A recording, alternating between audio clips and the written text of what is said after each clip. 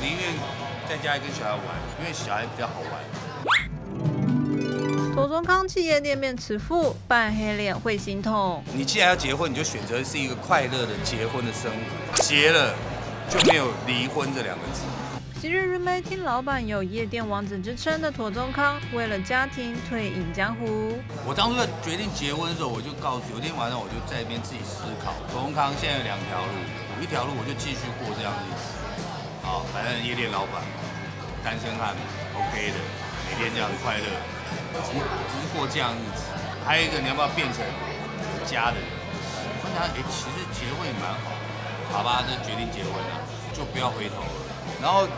她一怀孕，我也跟我的夜店的伙伴们讲，我说那我要请产假了。然后慢慢慢慢的，然后小孩又生出来了，那更不去了。那我又觉得说，我宁愿在家里跟小孩玩，我已经懒得晚上出去，因为小孩比较好玩。那我就跟夜店的讲，我说没关系啊，我就做卖掉。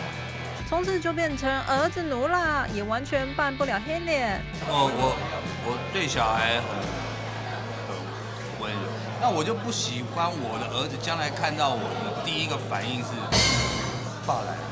我希望我儿子看我，哎，爸来嘞，是这样的情绪。我试过一次骂我儿子，好像他是玩剪刀还是玩刀子，其实我是紧张，我就骂他，我说不可以做这个，干这东西，然后骂完之后我就很难过。